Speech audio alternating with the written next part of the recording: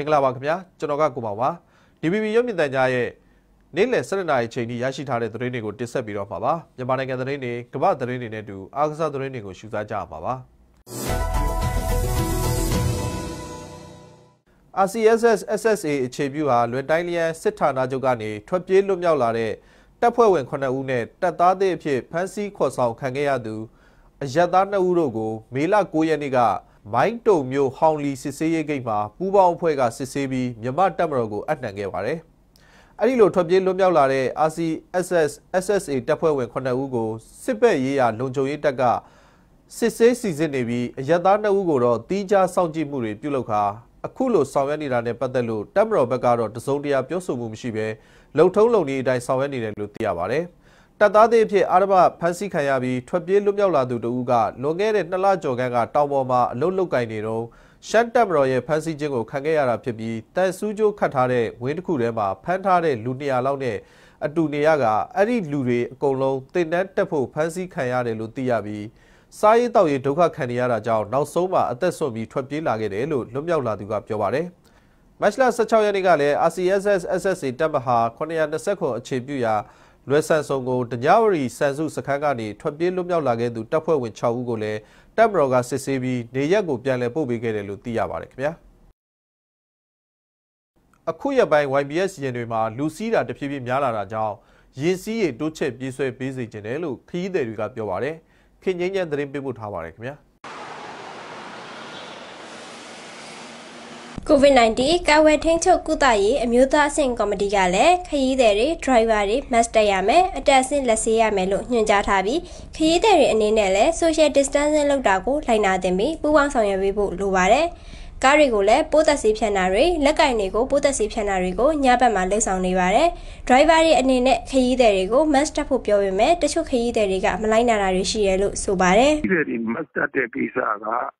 ကျွန်တော်တို့ driver တွေကတော့ mask တပ်ဖို့ပြောတယ် ဒါပေမဲ့ တချို့ ခရီးတွေကတော့ မတပ်ဘူး အဲ့ဒီအတွက် ကျွန်တော်တို့ယင်နေမှာလဲ mask တပ်ပြီးတော့ စီးနှင်းကြဖို့ဆိုပြီးတော့ ကျွန်တော်တို့က အဲ့ဒီမှာ စာရေးထားပြီးတယ် နောက်တစ်ချက်က သမီး ခုနပြောသလိုပေါ့ တချို့နေရာတွေမှာ ခုံတွေကို ကျွန်တော်တို့က cross လုပ်တယ် ဒီတိုင်းစီးပြီးဖို့ လူနေတဲ့အချိန်မှာတော့ စီးတယ် လူများတဲ့အချိန်မှာတော့အဲမလိုက်နိုင်ကြတာရှိတယ် နောက်တစ်ခုက ကျွန်တော်တို့ယင်လိုင်းတွေယင်နေတန်ရှင်းကို ပိုးသက်သေးတုံးပြီးတော့ ကျွန်တော်တို့တန်ကြီးလောက်တာတွေကိုပုံမှန်လုပ်ပေးနေတယ်တချို့ရင်တွေမှာဆိုရင်ခုံတွေကိုတခုံကြားထိုင်ဖို့ cross လုပ်ထားတာရှိပေမဲ့ရုံးတက်ရုံစင်းချိန်တွေမှာမလိုက်နာနိုင်တာတွေရှိနေပါတယ်။အဲဒါကြောင့် COVID-19 ကာကွယ်ဖို့ကို YRDA အနေနဲ့တက်နိုင်တဲ့လောက်ပူးပေါင်းဆောင်ရွက်နေတယ်လို့ခရီးသည်တွေအနေနဲ့လိုက်နာဖို့မြစ်တာရက်ခံတယ်လို့လည်းဆိုပါတယ်။ဘာအနေနဲ့ဘယ်လိုလုပ်ဆောင်လဲဆိုတော့အခုလက်ရှိဟိုမှာဟိုတွားလာနေတဲ့လူပမာဏနဲ့ဟိုမှာအခုလက်ရှိတွားနေတဲ့ကားနဲ့ဟိုမမျှမမျှလို့ဟိုဆိုတာပြောအခု ဟိုဒါထတ်တိုးဆွဲရတော့ဘာမှမရှိဘူးလေမရှိတဲ့အတွက်ကျွန်တော်တို့အခုပုံမှန်လူကပုံမှန်တွားနေမှာပဲပုံမှန်ကိုမြူလိုက်ပြီလို့ရှိရင်အလုပ်တွေပါပုံမှန်တွားလို့ရှိရင်လူကတော့ကြက်မှာပဲကြက်တယ်သူတို့ကမျိုးဆိုရ distancing လုပ်မယ်ဆိုလို့ရှိရင်ရှင်လိုင်းကတော့ဒီတဲ့ဟိုများများပို့ဆွဲနိုင်မှုလိုပါပေါ့အဲ့ဒီကူတော့ရအောင်ပေါ့ဟုတ်လူကြီးကတ်တရတာကောင်းတာပေါ့သူကသူကလည်းခုံမရှိလဲစွတ်တင်တာပေါ့လေအများကြီးတင်ကြရဆိုတော့လေ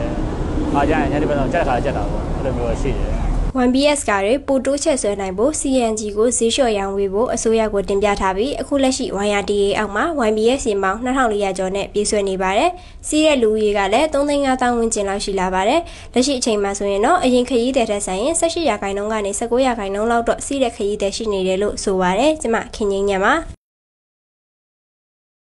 COVID-19 ကူးစက်ရောဂါကာလကြာမြင့်နေမယ်ဆိုရင်ကျန်းမာရေးဝန်ထမ်းတွေအနေနဲ့လက်ပန်းကြပြီးအလုတ်စိန်ခေါ်မှုတွေရှိလာနိုင်တယ်လို့ကလေးခရိုင်ပြည်သူ့ကျန်းမာရေးဦးစီးဌာနမှဒေါက်တာစိုးမိုးထွေးကပြောပါရယ်လာမယ့်ဇွန်လပိုင်းမှာဆိုရင်ကျန်းမာရေးဝန်ထမ်းတွေအနေနဲ့ကာကွယ်ဆေးထိုးရမယ့်အချိန်နဲ့အခုလို COVID-19 ကူးစက်ရောဂါဖြစ်ပွားနေတဲ့ကြားထဲလုပ်ငန်းတာဝန်တွေမနိုင်မနှင်းဖြစ်လာနိုင်တယ်လို့ဆိုပါရယ်ဒါကြောင့်ပြည်သူတွေအနေနဲ့လည်းအားကစားနဲ့ကျန်းမာရေးဝန်ကြီးဌာနကထုတ်ပြန်ထားတာတွေကို စနစ်တကျလိုက်နာပြီးကူညီပေးဖို့လိုတယ်လို့ပြောပါရယ်ကျန်းမာရေးဝန်ထမ်းတွေအနေနဲ့လက်ရှိမှာသွေးလွန်တုပ်ကွေးကာကွယ်ရေးစီမံချက်အတိုင်းစိတ်ခတ်တာ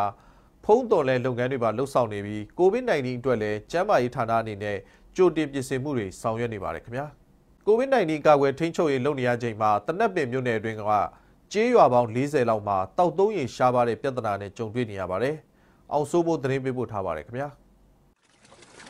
ပဲခူးတိုင်းတနက်ပင်မြို့နယ်ကမိုးတွင်းဆိုရေကြီးပြီးနွေရာသီဆိုတောက်တုံးရေရှားပါမှုပြဿနာတွေနဲ့အမြဲကြုံတွေ့နေရတဲ့ဒေသဖြစ်ပါတယ်။တချို့နှစ်ဒီမှာဆိုတမျိုးနယ်လုံးရေပြက်လက်သွားခဲ့တာတွေလည်းရှိခဲ့ဘူးပါတယ်။ဒီမိုကရေစီအစိုးရတက်လာပြီးနောက်ပိုင်းနိုင်ငံတော်အကြီးအကဲတွေနဲ့ပရိဒစေတနာအလူရှင်တွေစုပေါင်းပြီးတောက်တုံးရေကန်တွေအစ်စ်တူးဖော်ပေးတာ ကံဟောင်းတွေကိုပြုပြင်ပေးတာတွေပြုလုပ်ပြီးခဲ့တဲ့အတွက်နှစ်အတော်များများရေပြက်လက်မှုဒဏ်ကိုတိတ်မခံကြရပေမဲ့အခုနှစ်မှာတော့မိုးစောစောပြတ်တာတွေကြောင့်အခုလိုတနက်ပင်မြို့နယ်တွေကရွာပေါင်း40ကျော်လောက်တောက်တုံးရေပြက်လက်မှုတွေနဲ့ကြုံတွေ့နေရတာပါအန်ကယ်တို့အခုဆိုနောက်ဆုံးဆိုယူပါပေါင်း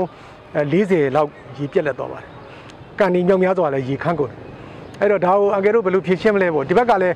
ကိုဗစ်ကဒါကမ္ဘာရေးအမျိုးသားရေးကိစ္စဖြစ်နေတော့ဒါကိုလုံးပန်းနေတဲ့ဂျားတွေကပဲ ဒီတောက်သုံးရေလက်ဆေးစရာရေမရှိဘူးတောက်စရာရေမရှိတော့ဘူးဆိုတဲ့ပြဿနာကလည်းတော်တော်ကြီးပါတယ်တနက်ပင်အတွက်လေတချို့ရွာတွေမှာတော့ကံရည်တွေခန်းချောက်သွားတဲ့အတွက်နောက်နှစ်တွေမှာခုလိုရေမပြတ်လက်စေဖို့အတွက်အလူရှင်တွေနဲ့စုပေါင်းပြီးကံတွေကိုအနက်ထက်တူးတာချက်စီယိုခတ်တာတွေကိုလှုပ်ဆောင်နေကြပါတယ်လက်ရှိမှာတော့စစ်တပ်တွေအလူရှင်တွေကနေတောက်သုံးရေလာရောက်လှူနေကြပေမဲ့ရေလိုအပ်ချက်ကတော့ရှိနေဦးမှာပဲလို့ကြေးရွာအုပ်ချုပ်ရေးမှူးတူကပြောပါတယ်အဓိကအနေနဲ့ပဲခူးတိုင်းမှာအခုနှစ်ရေရှားပါမှုကြုံတွေ့နေရတာကတောင်ငူကဝတနတ်ပင်အဲ့ဒီသုံးမျိုးနယ်ဖြစ်ပါတယ် ကျေးလက်ဦးစီးဌာနအနေနဲ့လည်းရေပေးဝေတာတွေကိုအကြိမ်30နီးပါးဝေငှထားတယ်လို့ဆိုပါတယ်လက်ရှိအဲ့ဒီတနက်ပင်ဘက်မှာဖြစ်နေတာကရေတွင်းတူးလို့မရတဲ့ပြဿနာပါရေတွင်းတူးရင်ရေငန်တွေပဲလိုက်နေတဲ့အတွက်တောက်သုံးရေပြဿနာတွေကိုပြည်လည်စေဖို့အတွက်မြေသားကန်အသစ်တူးဖော်တာကံဟောင်းကိုပြန်လည်တူးဖော်တာတွေကိုပဲလှုပ်ဆောင်ပြီးရေရှားပါမှုပြဿနာကိုဖြေရှင်းနေရတာပါတော်တော်ကိုယ်စားလှယ်လည်းသိအောင်မနော်ဒေတာခံတွေလည်းသိအောင်ကျွန်မအစမ်းနှင်းတွေတူးပါတယ် တူးတဲ့အချိန်မှာလည်းရေငန်တွေပဲထွက်ပါတယ်အဲ့ဒီအတွက်လည်းကျွန်တော်တို့ဟိုတခြားရေရရှိနိုင်တဲ့နီလန်းတွေမရှိဘူးဆိုတာပေါ့နော်အဲသိရှိအောင်လို့ပါဒါကြောင့်မလို့ကိုယ်လက်ရှိသုံးနေတဲ့မြေသားကန်တွေကိုအစစ်မျက်နှာတွေပြန်တူးတာတွေချန်စီယိုခတ်တာတွေဒါတွေပဲစောင့်ရပြီအရင်ကဝေါ်မျိုးနယ်ကလည်းနှစ်စဉ်ရေပေးဝင်နေရတဲ့မြို့တစ်မြို့ဖြစ်ပါတယ်။အခုဆိုမြေသားကန်အသစ်တွေကံဟောင်းပြုပြင်တူးဖော်တာတွေလှုပ်ဆောင်ထားတဲ့အတွက်ဒီနှစ်မှာတော့ရေပြက်လက်မှုမရှိသေးပါဘူး။ဒါကြောင့်အဲ့ဒီဒေသတွေကိုနှစ်စဉ်ရေရှားပါမှုမဖြစ်ရအောင်တောက်သုံးရေကန်တွေများများလိုအပ်နေတယ်လို့သိရပါတယ်။ကျွန်တော်အောင်စုမှုပါ။ မြန်မာနိုင်ငံအတွက်လိုအပ်တဲ့စေဝါနဲ့ကယ်ဆယ်ရေးပစ္စည်းတွေတင်ဆောင်မှုလေယာဉ်တွေကိုဥရောပသမဂ္ဂနဲ့ဆွစ်ဇာလန်တို့ကနေငွေကြေးထောက်ပံ့ပေးနေတယ်လို့မြန်မာနိုင်ငံဆိုင်ရာဥရောပသမဂ္ဂယုံကသတင်းထုတ်ပြန်ပါတယ်။မေလ10ရက်နေ့မှာပဲပထမဆုံးခရီးစဉ်အဖြစ်မြန်မာနိုင်ငံအတွက်ဂါဗီရဲ့ထောက်ပံ့မှုနဲ့ယူနီဆက်ကဝယ်ယူထားတဲ့ COVID-19 ရောဂါစမ်းသပ်စက်ကရိယာအခုတထောင်ကာဝယ်ရေးဝတ်စုံ PPE အဖျားတိုင်းဆက်တွေနဲ့ယောဂပိုးမွားပိုးသက်စေးအရေးတွေဟာကယ်ဆယ်ရေးလေယာဉ်နဲ့မလေးရှားနိုင်ငံကွာလာလမ်ပူမြို့ကနေရန်ကုန်ကိုရောက်လာပါတယ်။မြန်မာနိုင်ငံအတွက် COVID-19 ရောဂါစမ်းသပ်စက်ကရိယာအခုရေ2000ရရှိမှာဖြစ်ပြီးဒုတိယအသုတ်ကတော့ဇွန်လမတိုင်ခင်ရမယ်လို့ဆိုပါတယ်။ဒီလေယာဉ်ဟာတစ်ကြိမ်မှာအထောက်အကူအသက်ကယ်ဆယ်ရေးစစ်ပစ္စည်းကရိယာမက်ထရစ်တန်နှစ်တန်ကိုတည်ဆောင်နိုင်မှာဖြစ်ပြီးပုံမှန်လေကြောင်းလိုင်းတွေပြန်လည်စတင်တဲ့အထိအပတ်စဉ်တည်ယူပို့ဆောင်ပေးနေတာပဲဖြစ်ပါတယ်ခင်ဗျာ။ COVID-19 ရောဂါကြောင့်မန္တလေးကုန်စည်တိုင်းကိုဖွင့်လှစ်နိုင်ခြင်းမရှိပေမဲ့နေ့စဉ်အွန်လိုင်းကနေရောင်းဝယ်ဖြစ်နေတယ်လို့သိရပါတယ်။ကြော်စီသတင်းပေးပို့ထားပါတယ်ခင်ဗျာ။ COVID-19 ရောဂါကြောင့်မန္တလေးကုန်စည်တိုင်ကိုဧပြီလ17ရက်နေ့ကစတင်ပြီးယာယီပိတ်ထားခဲ့တာဖြစ်ပါတယ်။ အွန်လိုင်းကနေတဆင့်အယောင်းဝယ်ပြုလုပ်တာတွေကိုဧပြီလ24ရက်နေ့ကစတင်ခဲ့တာဖြစ်ပါတယ်။လက်ရှိအချိန်မှာတော့ကုန်စည်တိုင်ယာယီပိတ်ထားပေမဲ့အယောင်းဝယ်နေ့စဉ်ရှိနေတယ်လို့သိရပါတယ်။အခုဒိုင်းပိတ်ထားတော့ online ကလို့တော့ကျွန်တော်တို့ကဘယ်လိုဖြစ်တုံးဆိုတော့မနေ့9နာရီလောက်ဆိုရင်ကျွန်တော်ဆိုရင်ကျွန်တော်မှရောင်းစရာရှိတဲ့ကုန်ပစ္စည်းတွေဘယ်ပစ္စည်းရောင်းပါတယ်ဆိုတော့တင်လိုက်တာပဲနောက်တစ်ယောက်ကလည်းဘယ်ပစ္စည်းဝယ်ခြင်းပါတယ်ဆိုတင်လိုက်တာအဲ့လိုတင်ပြီးတော့မှတယောက်တော့အကုန်လုံးတင်ပြီးတော့မှအာကိုလိုချင်တဲ့ပစ္စည်းဟာဘယ်သူကတော့ရောင်းတယ် ဆိုရင် သူ့စီမယ်နမူနာသွားထိုးပါတယ် နမူနာသွားထိုးပြီးတော့မှ ညနေလောက်ကျမှဒီစကားပြောလို့ရတာလူနာတဲ့17နိုင်လောက်ထိုးတယ် ပြန်လာတာပြုလာတာနဲ့မှ အဝေးပဲ တချို့ဆို စက်မှုကနေ လာထိုးရတာရှိပေါ့ဗျာ စက်မှုကဆိုရင် ကျွန်တော်တို့ အသွားပြန်2နိုင်လောက်ကြာတယ် ဟုတ်တယ်မလား အဲ့ကြတော့3နိုင်နောက်ပိုင်းလောက်မှာပဲ ဈေးတွေက ကောင်းကောင်းမှန်မှန်ပြတ်သွားတာ သူနဲ့မတည့်နောက်တစ်ယောက်ဆက်ရောင်းတော့အခြေအနေမပေးတော့ဘူးလေ3နိုင်နဲ့4နိုင်ဖြစ်သွားပြီဆိုတော့ အဲ့ဒီအခက်အခဲလေးတွေတော့ ရှိတယ် လုံးဝပိတ်ထားတာတဲ့စာရင်တော့ တော်တော်လေးကိုဒါလေးကအဆင်ပြေပါတယ်လို့ပြောချင်ပါတယ်လက်ရှိအချိန်မှာတရုတ်ပြည်ကနေပဲဒီစိန်မြေပဲလုံးဆန်တို့ကိုအဓိကထားဝယ်ယူနေပြီးမူဆယ်ရွှေလီလန်းနဲ့ချေးရွှေဟော်လန်းကနေတင်ပို့နေတယ်လို့သိရပါတယ်အဓိကကျွန်တော်တို့ကမန္တလေးကလည်းတရုတ်ပြည်ကိုကျွန်တော်တို့ဟိုအယောင်းဝယ်ရလဲအမိတဟဲပြုတ်နေရတဲ့အတွက်ကြောင့်တရုတ်တွေကအခုအဲလှိုင်းလှိုင်းဝဲနေတာကတော့ကျွန်တော်တို့အခုအဲ့ဒီခုနကကျွန်တော်တင်ပြတဲ့အတိုင်းပဲဘယ်ဒီစိန်အဓိကဘယ်ဒီစိန်ဆိုတနေ့တနေ့ မန္တလေးမြို့ကိုအဲ့ဒီတောင်းချီဝင်နေတယ် ဒါတွေလည်း အကုန်ကုန်တယ် ဈေးတက်တာ ကျတာတော့ ရှိတာပေါ့လေ နောက်ပြီးတော့ မြေပဲဆန်နေတပြေလုံး အတိုင်းအတာနေပြီးတော့ဒီကို ဝင်နေတယ် လက်ရှိအချိန်မှာ မတ်ပဲကလပ်ပဲနဲ့ ပဲဒီစိန်ပုံမှန်အယောင်းဝယ်ဖြစ်နေပြီး မတ်ပဲ3တင်းဝင်တအိတ်ကို9000ကနေ9600ကြားကလပ်ပဲ3တင်းဝင်တအိတ်ကို 6000ကနေ6600ကြားပဲဒီစိန်3တင်းဝင်တအိတ်ကို3သိန်း1000ကနေ3သိန်း6000ကြားရှိပြီးဈေးအထက်ကျအနှဲငယ်ရှိတယ်လို့ပွဲစားကုန်တဲ့စက်ပိုင်များမဟာကထင်တော်အသင်းကနေထုတ်ပြန်ထားပါတယ်ကျွန်တော်ကျော်စီပါ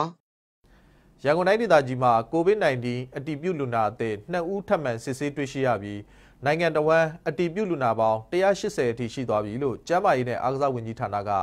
မနေ့ကည8နာရီကသတင်းထုတ်ပြန်ပါတယ်။ လူနာသစ်2ဦးကအင်းစိတ်မြို့နယ်ကအသက်22နှစ်အရွယ်ရှိပြီဖြစ်တဲ့အမျိုးသား2ဦးနဲ့မရန်ကုန်မြို့နယ်ကအသက်22နှစ်အရွယ်ရှိတဲ့အမျိုးသမီး2ဦးတို့ပဲဖြစ်ပါတယ်။လူနာသစ်2ဦးဟာပြည်ပကိုခရီးသွားခဲ့တာမရှိပေမဲ့ COVID-19 အတည်ပြုလူနာတွေနဲ့ထိတွေ့မှုရှိခဲ့ပြီးအသွားအလာကန့်သက်စောင့်ကြည့်ခံနေရသူတွေဖြစ်ပါတယ်။အမျိုးသားကျန်းမာရေးဓာတ်ခွဲမှုဆိုင်ရာဌာနကဓာတ်ခွဲနမူနာ169ခုနဲ့စေးသုတေသနဦးစီးဌာနကဓာတ်ခွဲနမူနာ115ခု စုစုပေါင်း284ခုကိုစစ်ဆေးပြီးစီးခဲ့ရမှာလူနာသစ်2ဦးတွေ့ရှိခဲ့တာဖြစ်ပါတယ်။မေလ17ရက်နေ့မနက်ပိုင်းအထိမြန်မာနိုင်ငံမှာ COVID-19 ရောဂါဓာတ်ခွဲအတည်ပြုလူနာပေါင်း180သေဆုံးသူ6ဦးယောဂပိုးကင်းစင်လာသူစုစုပေါင်း82ဦးနဲ့ဆေးရုံကဆင်းခွင့်ပြုခဲ့သူ55ဦးရှိတယ်လို့သတင်းထုတ်ပြန်ထားပါတယ်ခင်ဗျာ။နှာခေါင်းစည်း mask မတက်ဘဲလမ်းပေါ်ထွက်လာတဲ့ပြည်သူတွေကို ဒဏ်တက်ရေးယူသင့်ပြီလို့လွှတ်တော်ကိုယ်စားလှယ်နဲ့လူမှုရေးအဖွဲ့အစည်းတွေကတိုက်တွန်းပြောဆိုလိုက်ပါတယ်။ချမ်းမြေပေါင်သတင်းပေးပို့ထားပါတယ်ခင်ဗျာ။ရန်ကုန်မြို့နယ်ပြည်သူတွေကိုဗစ်ဖြစ်ပွားတာရက်ရှည်လာတဲ့အမျှစိုးရိမ်မှုရော့ကျလာခဲ့ပြီးလမ်းပေါ်နဲ့ဈေးတွေမှာမမတက်စင်ပဲထွက်လာတဲ့သူတွေကိုတွေ့မြင်လာရပါတယ်။လက်ရှိဖြစ်ပွားနေတဲ့ကိုဗစ် -19 ရောဂါကလည်းကုသခြင်းထက်ကာကွယ်ခြင်းကပုံမထိရောက်တဲ့အတွက်ပြည်သူတွေမဖြစ်မနေမတက်စင်ကြဖို့ကိုကျန်းမာရေးဝန်ကြီးဌာနကပြောဆိုထားတာရှိပါတယ်။ ဝန်ကြီးဌာနရဲ့တိုက်တွန်းပြောဆိုချက်ကိုပြက်ကွက်တဲ့ပြည်သူတွေများလာတဲ့အတွက်လမ်းပေါ်ထွက်တဲ့ပြည်သူတိုင်းမတ်တက်ဖို့နဲ့မမတ်တက်စင်ရင်တန်တက်ရေးယူဆောင်ရွက်နိုင်မှုတာဝန်ရှိသူတွေကိုတင်ပြတိုက်တွန်းသွားမယ်လို့တိုင်းလွှတ်တော်ကိုယ်စားလှယ်တူကဆိုပါတယ်။ညာလက်ခံလိုက်တာတော့ဟို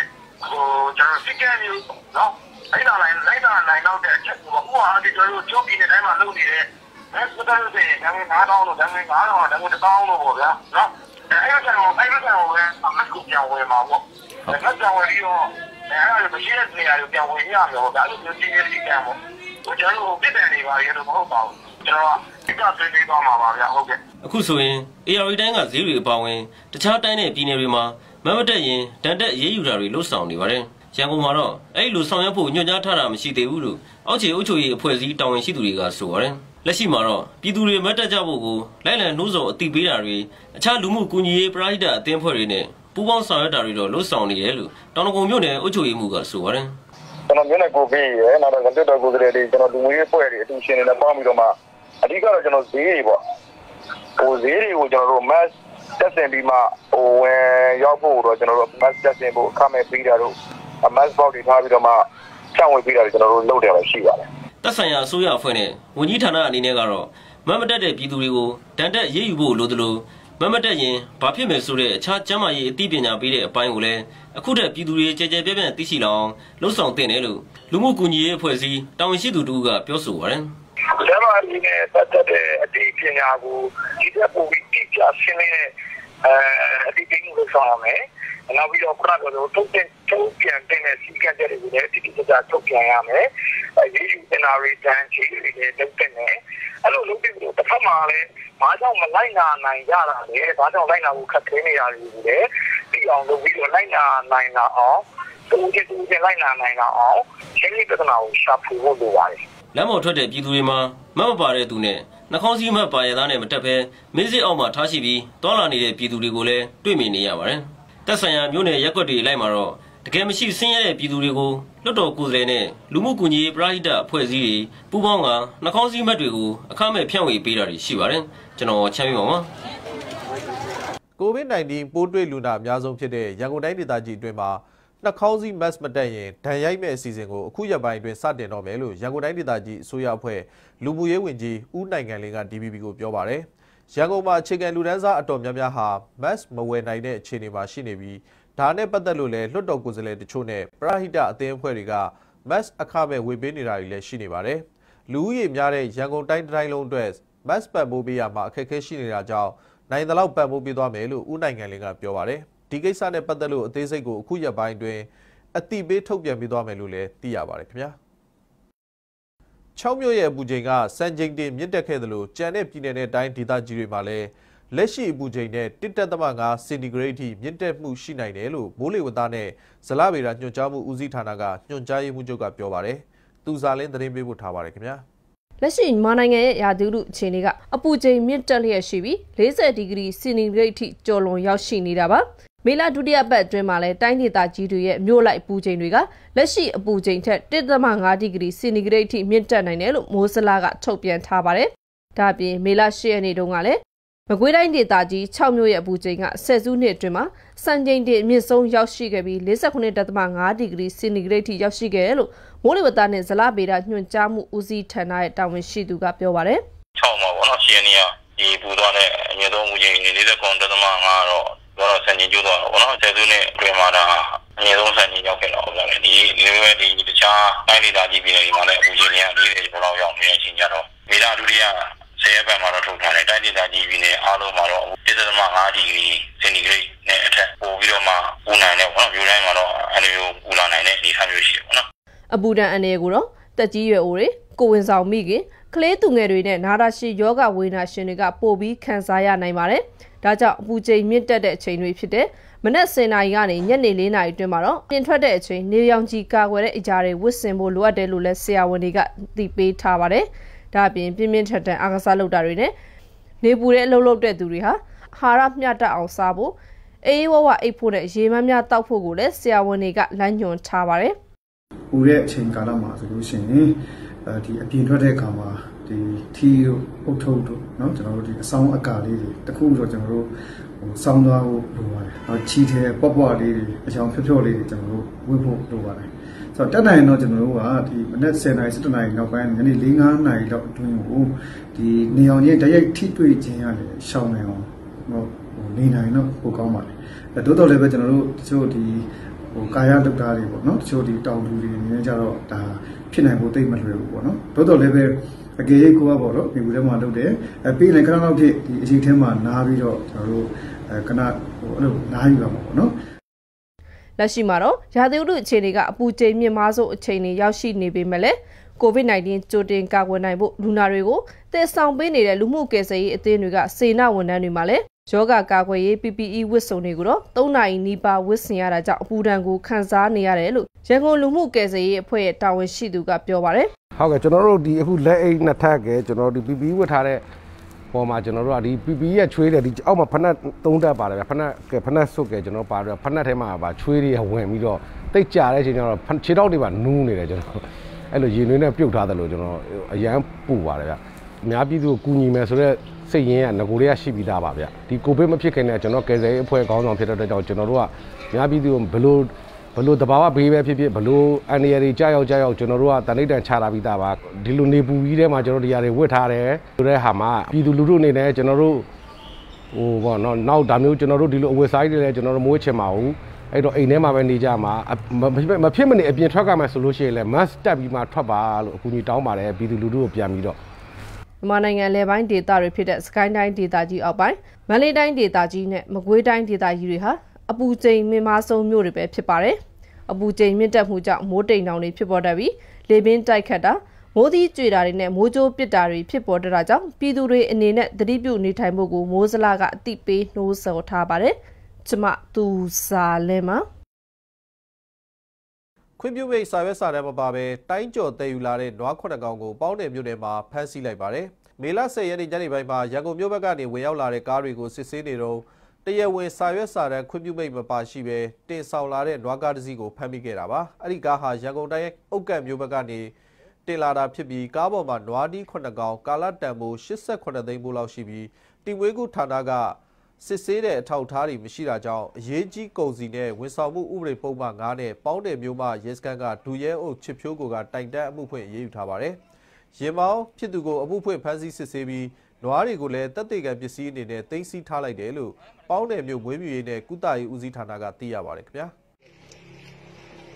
စင်ကာပူနိုင်ငံအတွင်းဝန်ထမ်းအင်အားတွေမှာနေတဲ့ရွှေပြောင်းလုပ်သားတွေကြားကိုရိုနာဗိုင်းရပ်ကူးစက်မှုမြင့်နေပေမဲ့အခြေအနေတည်ငြိမ်နေပြီမို့အစိုးရကတော့အသွားအလာကန့်သက်အိမ်တွင်းအောက်မှုလော့ဒေါင်းကန့်သက်ချက်တွေကိုပြပြန်လည်ဖြေလျှော့ပေးဖို့ပြင်ဆင်နေတယ်လို့စင်ကာပူလူဆွမ်းအားအရေးမြစ်ဝန်ကြီးကမေလ10ရက်နေ့မှာပြောဆိုပါတယ်။ ရွှေပြောင်းလုပ်သားတွေကိုဂယူးဆိုင်ဖို့ဆေးဘက်ပံ့ပိုးမှုအင်ကာရက်တွေကိုတွားရောက်စစ်ဆေးနေချိန်မှာသတင်းမီဒီယာတွေကိုသူကအခုလိုပြောဆိုလိုက်တာပါ။လုပ်သားတွေအပြည့်အဝနေပြန်ကောင်းလာဖို့နဲ့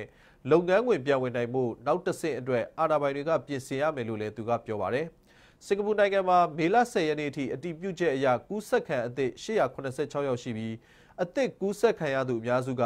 ဝန်ထမ်းအဆောင်တွေမှာနေတဲ့ရွှေပြောင်းလုပ်သမားတွေဖြစ်ပြီးအမြဲတမ်းနေထိုင်ခွင့်ရသူ3ယောက်ပဲပါတယ်လို့ကျန်းမာရေးဝန်ကြီးဌာနကကြေညာချက်ထုတ်ပြန်ထားပါတယ်။မေလ12ရက်နေ့ကစပြီးပင်မင်းလုပ်ငန်း၊သပင်ကျက်ဆိုင်တို့လိုမျိုးအိမ်တွင်းမှုလုပ်ငန်းတွေကိုလည်းပြန်ဖွင့်ဖို့ခွင့်ပြုတော့မယ်လို့သိရပါတယ်။နောက်သတင်းပတ်မှာတော့ចောင်းသားတချို့အုပ်စုငယ်အလိုက်ចောင်းပြန်တက်ဖို့ခွင့်ပြုမယ်လို့လည်းသိရပါတယ်ခင်ဗျာဒီနှစ်ကုန်ပိုင်းမှာကိုရိုနာဗိုင်းရပ်စ်ကူးစက်ကပ်ပြီးဒုတိယလှိုင်းဖြစ်လာနိုင်တယ်လို့တောင်ကိုရီးယားသမ္မတမွန်ဂျေအင်းက မေလ10ရက်နေ့မှာသတိပေးခဲ့ပါတယ်လက်တလောမှာကူးစက်ခံတွေအုပ်စုလိုက်တွေ့နေတာဟာ COVID-19 ရောဂါဘယ်ချိန်မှမဆိုကြင်ကြင်ပြက်ပြက်ကူးစက်နိုင်သေးတယ်ဆိုတဲ့ဘေးကိုသတိပေးနေတာပဲလို့သမ္မတကပြောပါတယ်ကပ်ဘေးပြီးဆုံးတဲ့အထိတက်လှန့်မှုတိုးမြင့်ထားချိန်မှာကပ်ဘေးဟန်တာရေးအတွက်ကျွန်တော်တို့စောင့်ကြပ်မှုကိုဘယ်တော့မှမလျှော့ချရဘူးလို့လည်းသမ္မတကမိန့်ခွန်းကနေပြောခဲ့ပါတယ်တောင်ကိုရီးယားနိုင်ငံမှာတလအတွင်းအမြင့်ဆုံးအနေနဲ့တနင်္ဂနွေနေ့ကအသစ်ကူးစက်ခံလူနာ34ယောက်ကိုတွေ့ရှိခဲ့ပါတယ်။အတီးပြုတ်လူနာတယောက်တွားရောက်လည်ပတ်ခဲ့တဲ့ night club ကနေဂွင်းဆက်လိုက်ကူးစက်ခဲ့ပြီးကူးစက်ခံအသစ်တွေထဲမှာ26ယောက်ကပြည်ရင်းနေထိုင်သူအချင်းချင်းကြားကကူးစက်တာဖြစ်ပြီး10ယောက်ကတော့ပြည်ပကပြန်လာတဲ့လူတွေစီမှာကူးစက်ရောဂါပါလာခဲ့တာလို့ကိုရီးယားယောဂထိန်းချုပ်ဟန်တာရေးဌာနကပြောပါတယ်ခင်ဗျာ되는 데는 오랜 시간이 걸릴 것입니다. 많은 전문가들이 예상하는 2차 대유행에도 대비해야 하는 상황입니다. မက်ဆီနဲ့ရိုနယ်ဒိုတို့ရဲ့နေရာကိုဆက်ခံမဲ့သူဟာ PSG တိုက်စစ်မှုအမ်ဘာဘီဖြစ်တယ်လို့နီးပြဟောင်းအာဆင်ဝဲကကသုံးသပ်ပါတယ်။မက်ဆီနဲ့ရိုနယ်ဒိုတို့ဟာအသက်အရွယ်ကြီးလာတာကြောင့်ဆယ်စုနှစ်တခုကျော်ကြာလွှမ်းမိုးထားတဲ့သူတို့နှစ်ဦးရဲ့နေရာကိုမျိုးဆက်သစ်တွေကဆက်ခံလာရတော့မယ်လို့အာဆင်ဝဲကကပြောပါတယ်။သူတို့နှစ်ဦးရဲ့နေရာမှာဆက်ခံနိုင်သူကပြင်သစ်ကစားသမားတွေဖြစ်နိုင်ပြီးလက်ရှိအခြေအနေအရတိုက်စစ်မှုအမ်ဘာဘီကအဖြစ်နိုင်ဆုံးကစားသမားလို့အာဆင်ဝဲကကပြောပါတယ်။အဲ့ဒီနောက်မှာတော့ PSG တိုက်စစ်မှုနေပါနဲ့အင်္ဂလန်ကစားသမားတချို့ဟာလည်းမက်ဆီနဲ့ ရိုနယ်ဒိုတို့ရဲ့အောင်မြင်မှုတွေကိုဆက်ခံနိုင်တယ်လို့ဝင်းကားကပြောပါတယ်။အင်္ဂလန်လူငယ်စုဖွဲ့ဟာလည်းအခွင့်အရေးကောင်းတွေရှိနေပြီးဒေါ်မွန်တောင်ပန်ကစားသမားဂျော်ဒန်ဆန်ချိုလီဗာပူးကအာနိုးနဲ့မန်ယူတိုက်စစ်မှုရက်ဖို့တို့ကိုအာဆင်ဝဲကားကရည်ညွှန်းပြောကြားသွားခဲ့တာဖြစ်ပါတယ်။မက်ဆီနဲ့ရိုနယ်ဒိုတို့ဟာပြီးခဲ့တဲ့12နှစ်အတွင်းမှာ17ကြိမ်အထိကမ္ဘာအကောင်းဆုံးဆုကိုရယူနိုင်ခဲ့ကြပါတယ်ခင်ဗျာ။ DVB ရုပ်မြင်သံကြားရဲ့နေ့လယ်12နာရီသတင်းတွေကိုရှုစားခဲ့ကြရတာပါ နေ့လယ်တနာရီမှာလည်းထပ်မံရရှိတဲ့သတင်းတွေကိုတင်ဆက်ပေးသွားအောင်ပါပါကျွန်တော်ကိုပေါကတင်ဆက်ပေးခဲ့တာပါကျေးဇူးတင်ပါတယ်ခင်ဗျာ